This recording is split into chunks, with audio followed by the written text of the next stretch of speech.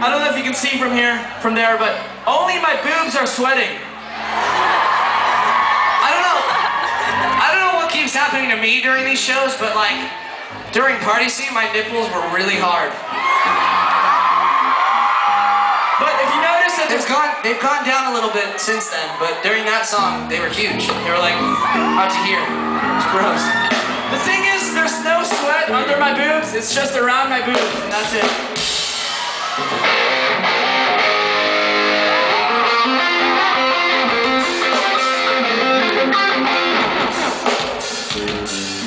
right, people, we're not done, so I hope you're not bored. I mean, either way, even if you leave, I'm gonna stay here and play all the songs, so you might as well stay. Please stay, don't leave yet. Please.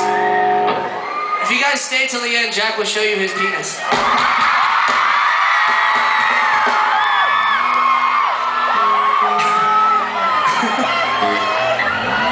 Okay, fine. This song's about beer. It goes like this.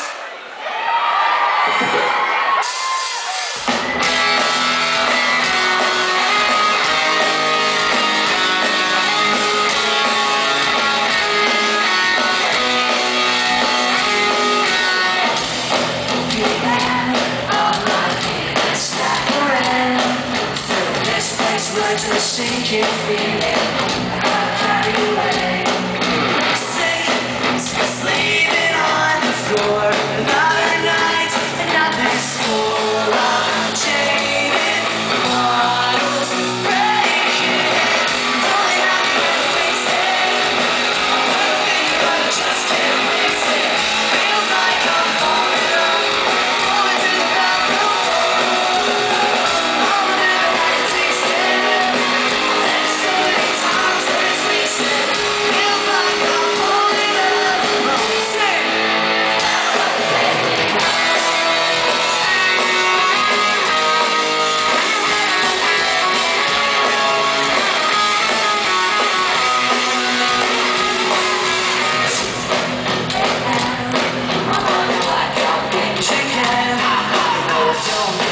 Eu rust when she's